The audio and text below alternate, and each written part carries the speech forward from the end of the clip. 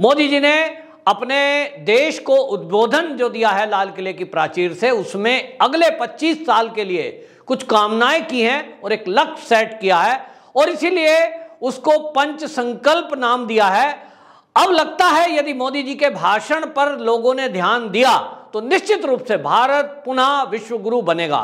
वहीं मोदी जी ने अपने भाषण में परिवारवाद और भ्रष्टाचार का ज़िक्र किया है, जिसके बाद ऐसे लोगों में बोखलाट हो गई है पैदा, जो अभी तक देश की आज़ादी के बाद से परिवारवाद के नाम पर देश को लूट खसूट रहे थे और देश की संवैधानिक संस्थाओं पर परिवार के लोगों को ही बिठाकर एक तरह से कहें तो कब्जा उन लोगों ने किया हुआ था।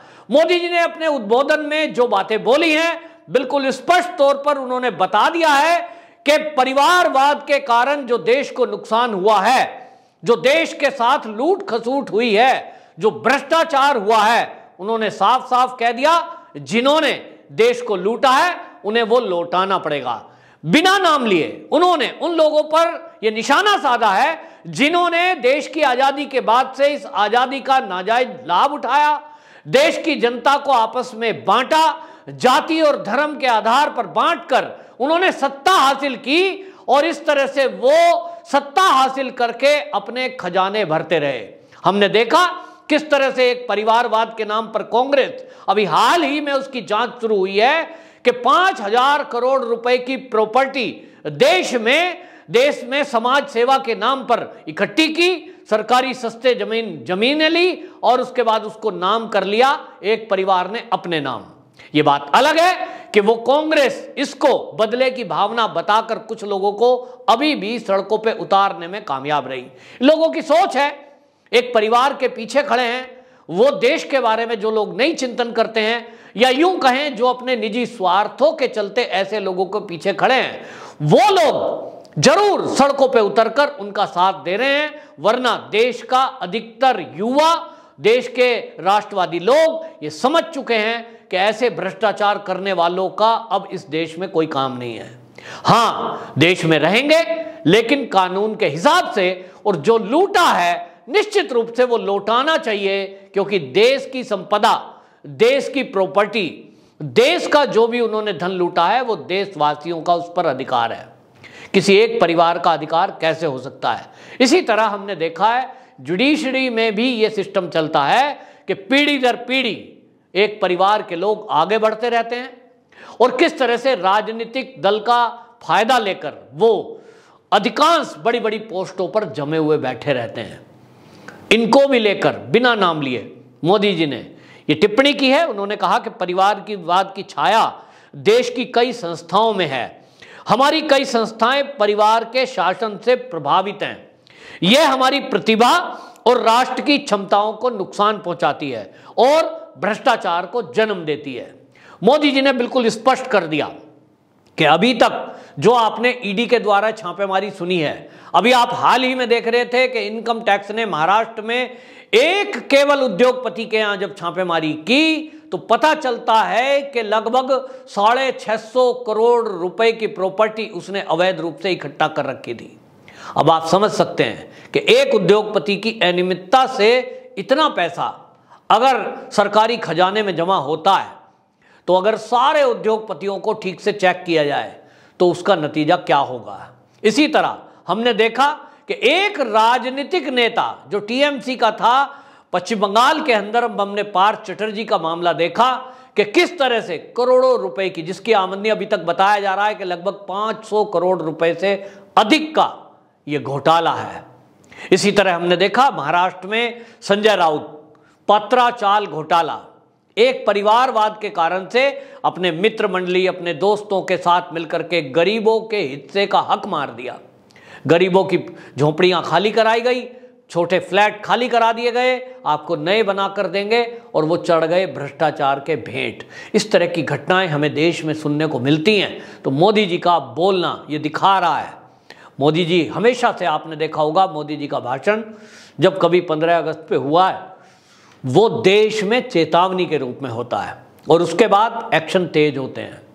मोदी जी पहले से कहते हैं कि मैं पहले ही चेतावनी देता हूँ, अब लोग समझ जाएँ तो समझ जाएँ। नोटबंदी के पहले ही मोदी जी ने इसी तरह का कुछ हिंट दिया था और उसके बाद नोटबंदी की थी। जिन लोगों ने समय रहते इन सब व्यवस्थाओं को ठीक कर लिया था वो बच पाए और बाकी डूब गए, कंगाल हो गए या तो जेल की सलाखों के पीछे गए। अभी जो मोदी जी ने भ्रष्टाचार मुक्त भारत की बात की है, इसमें निश्चित रूप से आप जान लीजिए कि अब आने वाले दिनों में आपको कई ऐसे संवैधानिक संस्था में घुसपैठ किए हुए लोग जो कि भ्रष्टाचार को बढ़ावा दे रहे हैं, उनके ऊपर भी कार्रवाई हो सकती है। इस हिंट से हमें एक बात तो पक्का लग गई कि अब जुडिशरी में भी जो जुड़े हुए लोग हैं अभी तक हमने देखा किस तरह से वो मनमर्जी करते आए हैं। नुपुर शर्मा के केस में हमने देखा किस तरह से टिप्पणी कर दी, बगैर सुनवाई, बगैर कुछ चार्जशीट के, और एक तरफा फैसला सुना दिया कि नुपुर शर्मा इसके लिए दोषी है। इस तरह के जजों को अब नियंत्रित करने के लिए कुछ ना कुछ मोदी सरकार ज़रूर कदम उठाएगी। ऐसा इस भाषण से हमें प्रतीत होता है। जो सूत्र हैं, उनके अनुसार ये पता लग रहा है कि अब मोदी सरकार जुडिशरी के मूलभूत सिस्टम में बदलाव लाने की कोशिश में है और अब आने वाले दिनों में वो देखने को मिलेगा। कोलेजियम के सिस्टम पर जो लगातार सवाल उठते रहे हैं और मैं हमेशा से कहता रहा हूँ कि निचली अदालत में जब पहली बार किसी को जज नियुक्त किया जाता है, वो एक बहुत टफ एग्ज़ाम देकर वो उस परीक्षा को पास करके वहाँ तक पहुँचता है। जैसे एक आईएएस परीक्षा है, आईपीएस की परीक्षा है इसी तरह से जुडिशरी में जब आपको जज बनने के लिए जाना है तो वहाँ भी उस परीक्षा में उतना ही परिश्रम है। और ये सब चीज़ें जो देखने को मिली हैं, इसको लेकर अब मोदी जी का जो बयान आया है, लगता है आगे आने वाले दिन हमारे देश में नया बदलाव लेकर आएँगे। उन्होंने हम देशवासियों से भी एक वादा लिया है, और वो जो पंच प्रण लिए हैं अगले 25 साल के लिए, उन्होंने कहा, पहला है विकसित भारत, शत प्रतिशत गुलामी की सोच से आज़ादी विरासत पर गर्व, एकता और एकजुटता और नागरिकों का कर्तव्य। मैं आपको ये बता दूँ, आरएसएस के जो सरसंचालक हैं, परम पूजनीय मोहन भागवत जी, उनका अगर आप वक्तव्य देखेंगे, उन्होंने जो है एक इसी तरह स्वतंत्रता दिवस के कार्यक्रम में उन्होंने बोलते हुए कहा है और लगभग यही वाक्य बोले हैं। मोदी जी ने बताया कि विकसित भारत का मतलब है वैक्सीन जैसे हमारे देश ने बनाई। ढाई करोड़ लोगों को बिजली का कनेक्शन अभी तक दिया गया। खुले में सोच से मुक्ति, ये महिलाओं को और परिवार वालों को दी गई, शौचालय बनाए गए। इसी तरह ये भारत विकास की तरफ़ बढ़ रहा है।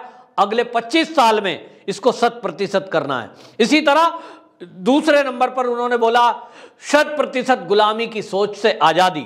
उन्होंने कहा कि इसी तरह अब आप जब तक ये गुलामी की मानसिकता से बाहर नहीं निकलेंगे, तब तक देश विकास नहीं कर पाएगा। हमारे देश में राज्यों की अलग अलग भाषा है। राज्य के अंदर भी कई बार ज़िले की अलग अलग भाषा है। जिलों के अंदर कई बार गाँव की अलग अलग भाषा है। अपनी भाषाओं पर हमें गर्व है और गर्व करना चाहिए उन भाषाओं के बढ़ाई के लिए, उनको आगे बढ़ाने के लिए हमें प्रयत्न रखना चाहिए। लेकिन संपर्क के रूप में यदि कोई एक भाषा चुनते हैं, वो बात अलग है, लेकिन हमें अंग्रेज़ी बोलने में गर्व महसूस हो यह है गुलामी की मानसिकता। अभी तक हमने देखा, अगर कोई अच्छी फर्राटेदार अंग्रेज़ी बोल रहा है, समाज में उसको ज़्यादा मान सम्मान मिलता है। वो बहुत पढ़ा लिखा है। और कोई अगर हिंदी में भाग कर रहा है, हिंदी में पत्राचार करता है, संस्कृत भाषा का उपयोग करता है तो उसको गरीब, समाज से अलग थलग इस तरह का हमारा विचार रहता है। क्यों? देश की जितनी भाषा हैं, सबका सम्मान बराबर रूप से एक जैसा होना चाहिए। यही मोहन भागवत जी ने कहा और यही देश के प्रधानमंत्री मोदी जी ने कहा। इसका मतलब आप समझ लीजिए, आने वाले समय में क्षेत्रीय भाषाओं को बढ़ाने के लिए तेज़ी से काम किया जाएगा। राष्ट्रीय स्वयंसेवक संघ उसके लिए पहले से प्रयत्न है, प्रयत्नशील है। संघ के जितने शिविर होते हैं और संघ की जो आज्ञाएँ हैं, वो सब संस्कृत में है, उसके पीछे का विचार यही है। आप यदि नागपुर में जाएँगे, जब तृतीय वर्ष वर्ग लग रहा होगा तो आप देखेंगे पूरे देश के वहाँ लोग आते हैं और सब एक साथ इकट्ठे होकर खाना, बैठना, सोना, एक महीने का जो क्रम है, वो इसीलिए है कि संपर्क की भाषा हिंदी सबको समझ में आती है। और अंग्रेज़ी कोई नहीं बोलता। ऐसा नहीं है कि कोई केरल का आया हुआ स्वयंसेवक है, वो उत्तर प्रदेश के स्वयंसेवक की भाषा नहीं समझ पा रहा है, वो केरल की नहीं समझ पा रहा है तो वो इंग्लिश का इस्तेमाल करेंगे। यही देश के प्रधानमंत्री और संघ के प्रमुख चाहते हैं। इसी तरह उन्होंने बोला, ये जो है, आपको देखना है, अपनी विरासत पर गर्व करना है, अपनी विरासत को संजो कर रखना है। इसी तरह मोदी जी ने बताया कि मोटा अनाज मोटा धान, ये हमारी विरासत है। संयुक्त परिवार हमारी विरासत है। पर्यावरण की सुरक्षा हमारी विरासत है। क्योंकि हम नदियों को, पहाड़ों को, पेड़ों को, पक्षियों को सबको संरक्षित करने के लिए उनका पूजन तक करते हैं। संघ के सरसंचालक जी ने बोला, और उन्होंने भी बोला है कि अपनी विरासत जो है हमारे देश की, वो हमारी खेती किस तरह से हम करते थे, जिसमें रासायनिक खाद का उपयोग नहीं होता था, लेकिन आज हम अधिक और जल्दी उत्पाद करने की होड़ में, जहाँ विदेशी कल्चर जा रहा है, विदेशी लोग जा रहे हैं, हम भी उसी गड्ढे में गिरते जा रहे हैं। इससे संभलने की ज़रूरत है। और इसीलिए कहा गया कि ये जो है, हमारा कर्तव्य बनता है, और इसलिए हमारा कर्तव्य है नागरिकों का कि हम आने वाली पीढ़ियों के लिए अच्छा अन्न उपजाएँ, केमिकल मुक्त, और जिसको कहते हैं कि आप ऑर्गेनिक खेती, इसको बढ़ावा दें। इसी तरह बिजली की बचत करें और एकजुटता पर बल दें ताकि सर्व समाज मिलकर के सामाजिक समरसता के साथ एक हो सके, क्योंकि एकता में ही बल है। इतना ज़रूर है कि मोदी जी के संपूर्ण भाषण में और संघ के सरसंचालक मोहन भागवत जी के भाषण में जो समानता है, इसका मतलब आप समझिए कि आने वाले 25 साल ये बहुत ही कीमती है। हम सब यदि इस पंच प्रण की तरफ़ ध्यान देंगे और सरसंचालक जी के बोले हुए उद्बोधन में यदि आप ध्यान देंगे, तब आपको पता लगेगा कि अगले 25 साल में हमारे देश का भविष्य निश्चित रूप से जो प्रण किया है इन दो लोगों ने, इन तपस्वियों ने तो निश्चित रूप से मान लीजिए कि ये प्रण लिया हुआ इनका पूरा ज़रूर होगा, क्योंकि ये दोनों लोग तपस्वी हैं और भारत माता की सेवा में अपना सर्वस्व होम करके लगे हुए हैं। हम भी इन दोनों महानुभावों का साथ दें हमारे पास जहाँ भी अपनी जितनी क्षमता है उसके अनुसार, चाहे तो आप मोदी जी के विजन से जुड़िए, चाहे संघ के विजन से जुड़िए, ताकि देश, विश्व गुरु शीघ्र, अतिशीघ्र बने।